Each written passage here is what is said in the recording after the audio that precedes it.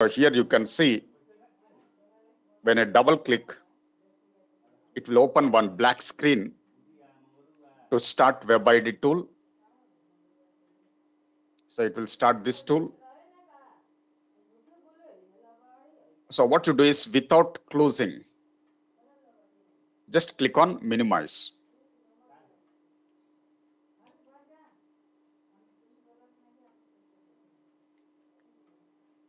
So you get one black screen like this. What you do is just click on minimize option. So as long as you work on web ID in your system, you need to make sure that this is opened and minimized.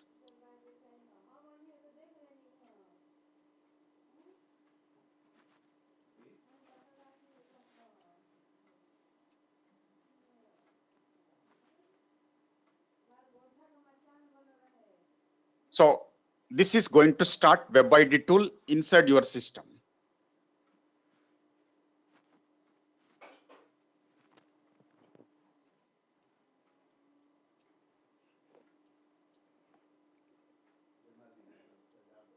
Right, so now I'm trying to minimize this window.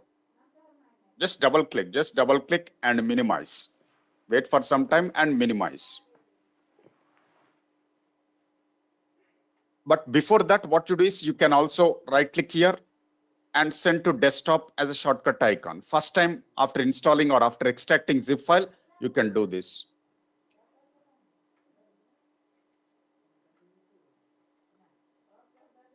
So that next time onwards from desktop itself, you can open that window and you can minimize. This is to create shortcut icon. for Orion file.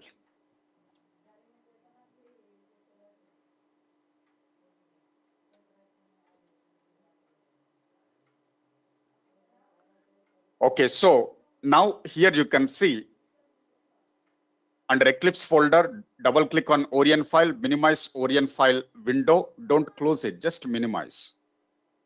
That's very important. So you'll get this. So this window should appear in minimum in minimized state as long as you work on Web ID tool. So after that, what you do is you need to connect to SAP Web ID tool. Connect to SAP Web ID tool. Open Google Chrome browser. This is recommended. For developing Fiori applications through Web ID tool, Google Chrome is recommended. You can use other browsers, Firefox, Internet Explorer. You can use any browser, but Google Chrome is recommended. It's a recommended browser. So open that and open with open below link. So let me open that here. So open Google Chrome. Here you can use this one, localhost 8080 webid dot. You need to use this. Let me copy this.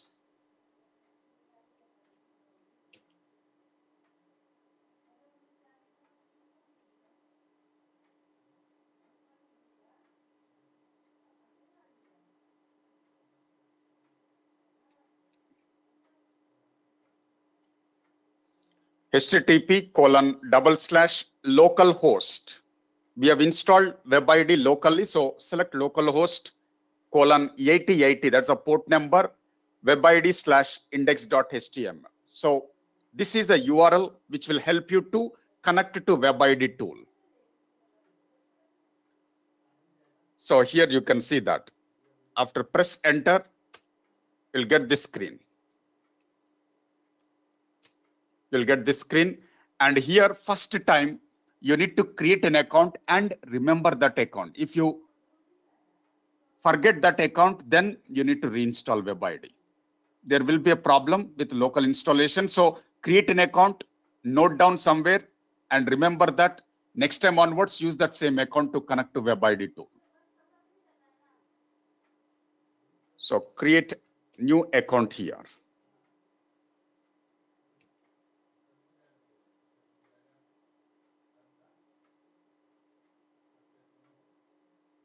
Only first time you need to do this.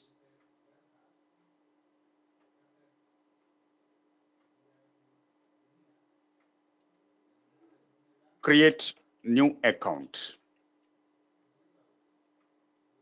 for SAP Web ID tool by selecting this option.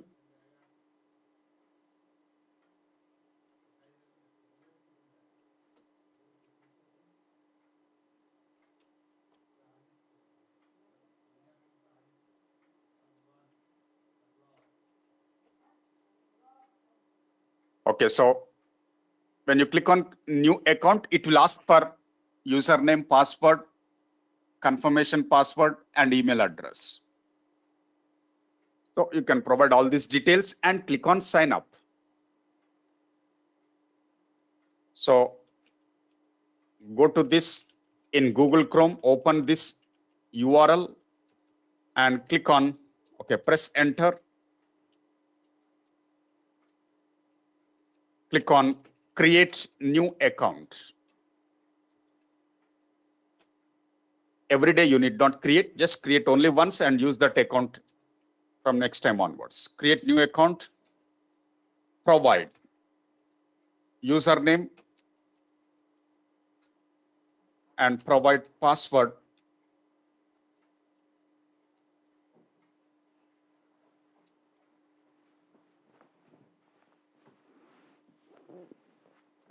in your case, when you create new account, you can have your own details at this level. But please remember that account details. Otherwise, you'll be in trouble.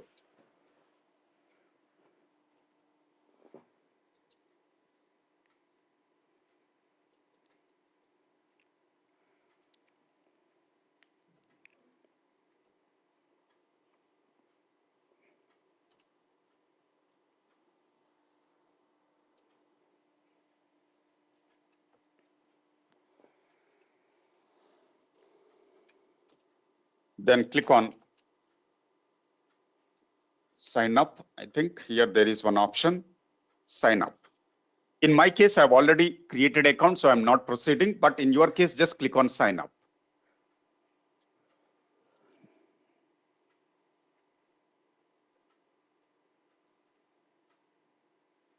After that, here you can see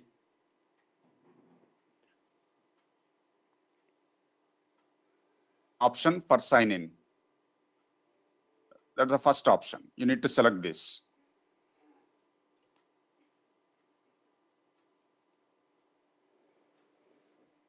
So here, this is the option for sign in.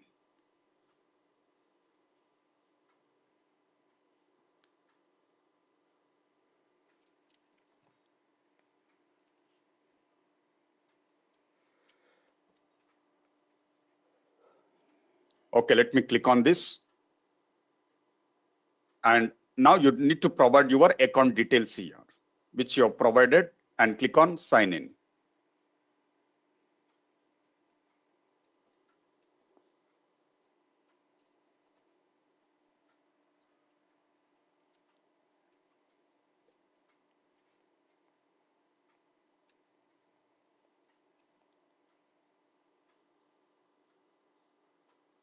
So if the login is successful, then you will get a web ID tool.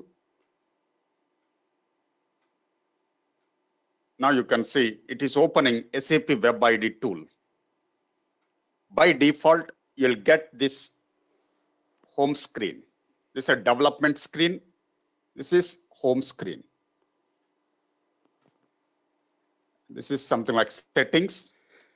But what you need to do is by default, you'll get this welcome to web ID. And that's a home screen here. You can find this.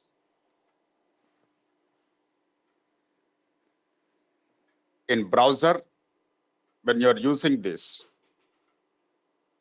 link, by default, you'll get one home screen welcome to web ID and you'll get some options. The same options, you can also find it here.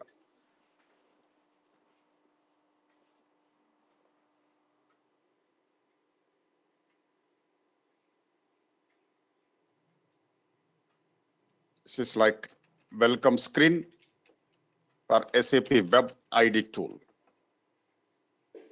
So if the screen is open, that means your Web ID tool is successful. If the screen is opened, if your home screen is opened here, then I can say your Web ID tool is successfully installed. Now,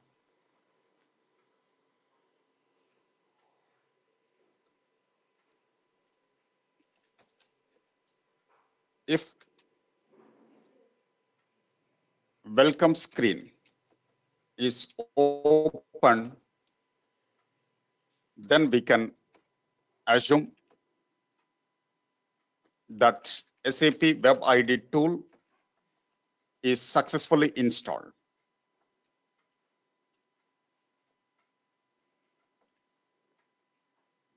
We can assume that Web ID tool is successfully installed when you get that home screen like this. But if you want to create projects, you'll go to this development workspace, we'll create projects from here. We are going to do that from the coming, uh, coming sessions. So home screen, when you get this home screen that indicates Web ID tool is success, so you can go to development workspace, right click and create your projects. From the next session, we are going to do that. Okay, so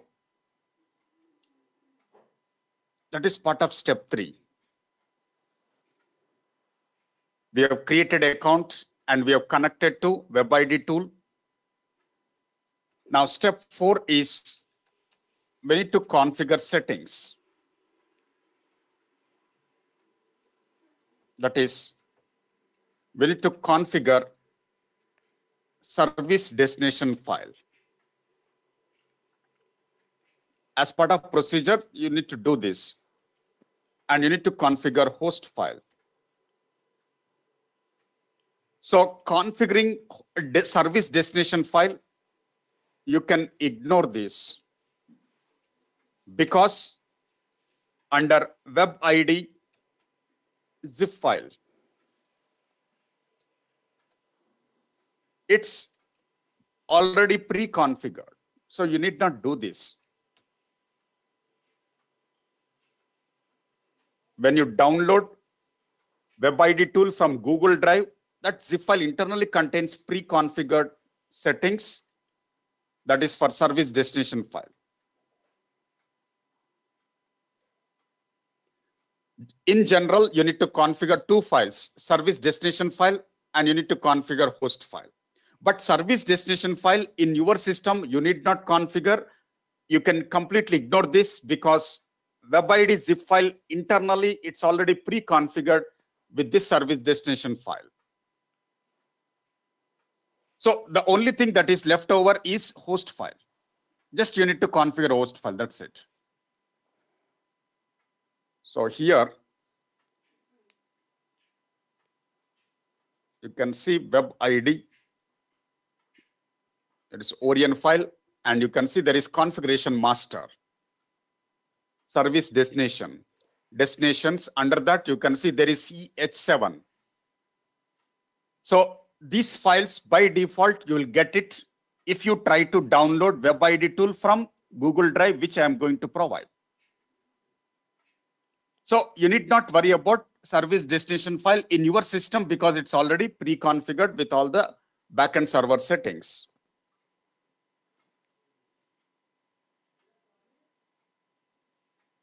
So you'll get that by default. Don't disturb this. So EH7 is our service destination file.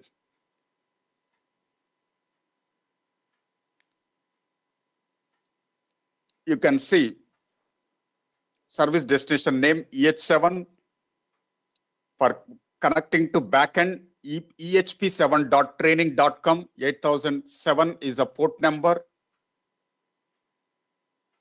So these are some of the main options that are already pre-configured. Generally, basis administrator will do it for you. In, in your system, you need not worry about this at all because it's already available when you extract a zip file. It contains some settings. Just let me highlight that. Your backend server name, port number, and the name of that system, and other options, or data usage, and other options will be available here.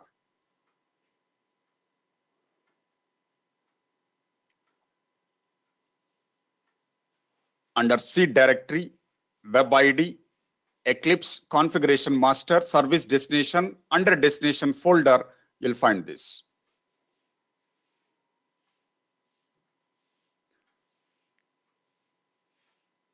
So service destination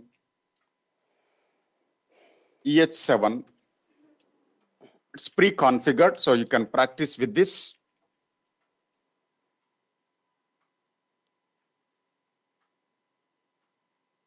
In your system, don't do this, just ignore it. Now, the only thing is you need to configure host file.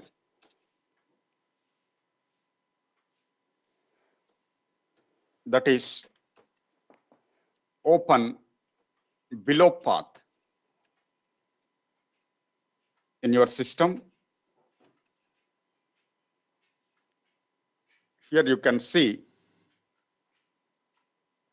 under C directory, there is Windows System 32 drivers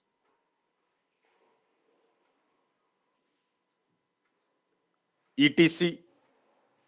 Under that, you can see there is host file. Copy this host file and paste it on desktop.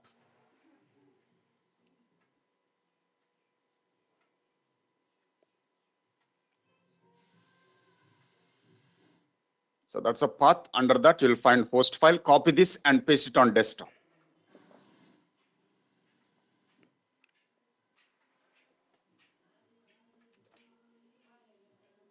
That's a system file. Please remember, this is a system file. It's not a note file.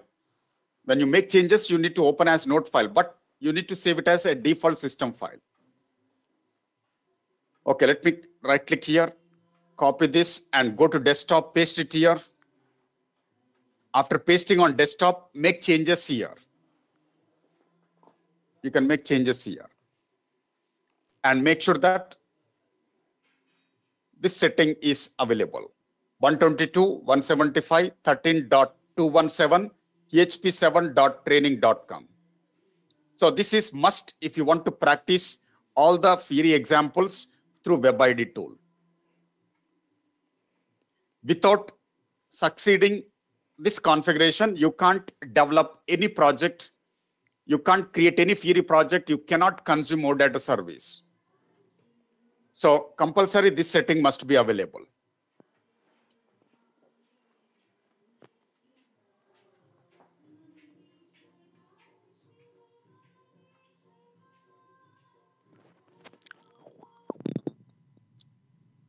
As it is, try to configure this.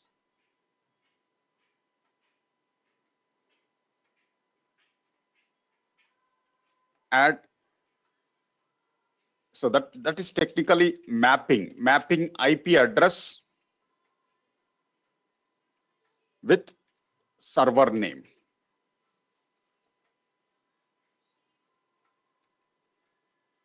Add this entry as it is. That is nothing but we are mapping IP address with server name inside host file.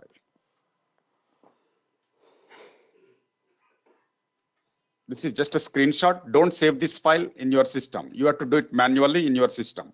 This is just a screenshot. So after adding this entry, what you do is just click on save when you click on save, it will save it as original system file. If you click on save as, it will save it as a text file. This should be a system file, not a text file. So don't click on save as here.